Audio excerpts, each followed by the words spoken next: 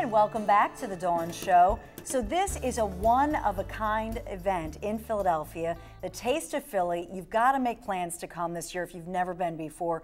It's Wednesday, November 13th. We welcome back to the show Brian Freedman, who is the restaurant critic for Philadelphia Weekly. Best job ever. It's pretty good, yeah. and we want to welcome to the show Paul MacDonald, who's the beverage manager for the Farmers Cabinet. So good to have you here, Paul. Good to be here, thank you. So tell us a little bit about the Farmers Cabinet. Um, we are a, uh, an heirloom American restaurant with a very strong focus on craft beer and craft cocktails. Um, we uh, just released our fall menu uh, for food and cocktails both, and we uh, are including a lot of really cool house-made ingredients um, and a lot of really unique kind of archaic liquors and cool stuff like that. Oh, it's beautiful. All that wood and Mhm. little jazz. Mhm, nice.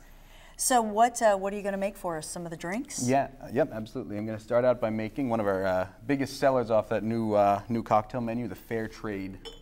Which is nice because Brian and and I already had our, our beers for the morning, so Mhm. now we'll have the, the Mhm. liquor. Yep, Those are exactly. warm-up lap. yeah, it's a day cap. so you're going to start out with your freshly squeezed lemon juice. All right. While you're pouring that, Mm-hmm. Is it does it make that big a difference if you use fresh lemon juice as opposed to the stuff in the little plastic lemon that you get in the supermarket? Makes all the difference in the world. Okay. When you're making a simple drink like a whiskey sour or something, it is the reason that one is better than the other. Fresh lemon juice, fresh citrus juice, fresh ingredients are of the essence. What's that?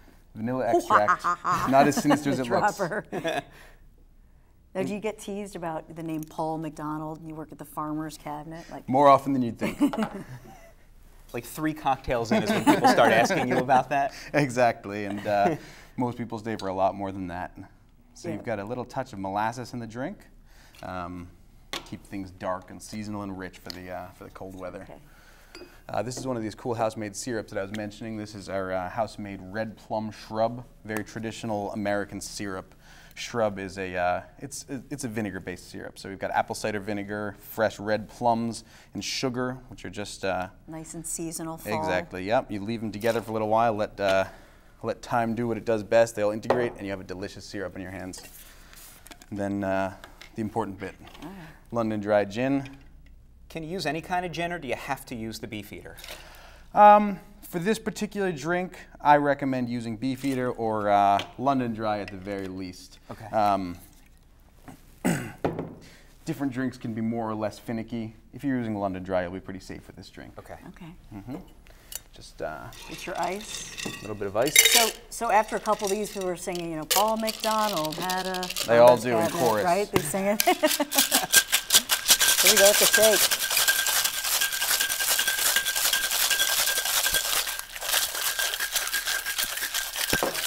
So imagine being in the Crystal Tea Room with like dozens of Shake it, these baby. shakers going on Oh, at it's the same awesome. time. I mean, that's it's and there's going to be live music there, but that live music combined with this, This live, live music, music, you could dance to that. Do a little perfect. nice little flamenco dance.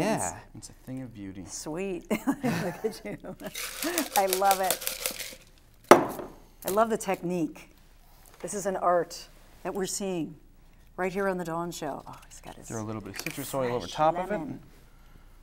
The flair there is, is Ah, The, it's all in the wrist. And there you have it. choreographed. Now, the fair Brian, your wife is, is having the baby, so Yes. uh, you know. Can I go chug ahead. this?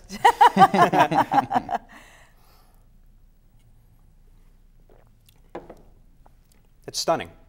I mean, you get that, that bright fruitiness from the shrub with that vinegar backbone. The citrus is brightening it up, and I can see what you're talking about, how that fresh lemon really makes all the difference there. 100%. Yeah, those lemon oils with the garnish, it's incredible. Yeah, if I could have a big to-go cup, A big gulp. Yes, Yeah. you don't need that at Taste of Philly because you get to just walk around and have as many of these as you want within reason. Nice. Within Absolutely. reason, Yes. right? For thirty-five bucks for the whole night. What else are you going to make? Um, I uh, want to make another interesting drink that we just added to our menu. This one is called the Au Natural. This is a winter warmer. Okay, winter warmer. So uh, we are taking a bit of a leap on this one. We're serving a room temperature cocktail, so I just added Angostura bitters. It's a very, very complex flavor. Just needs the tiniest little bit, or it will overpower. This is uh, another one of those cool syrups that I mentioned. This is our house-made mulled wine reduction. Red wine, classic mulling spices. You just let them cook. Nice. Let them cook and cook and cook. And what you got here? Last of all, you have uh, Calvados.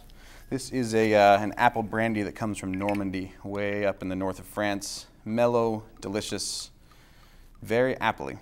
Okay.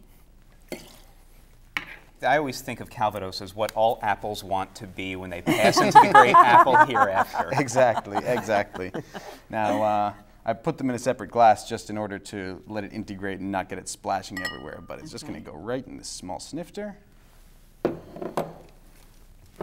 You're going to pull out some of the fruitier aromas, a little bit of orange oil, but you don't even need that to serve it. Nice.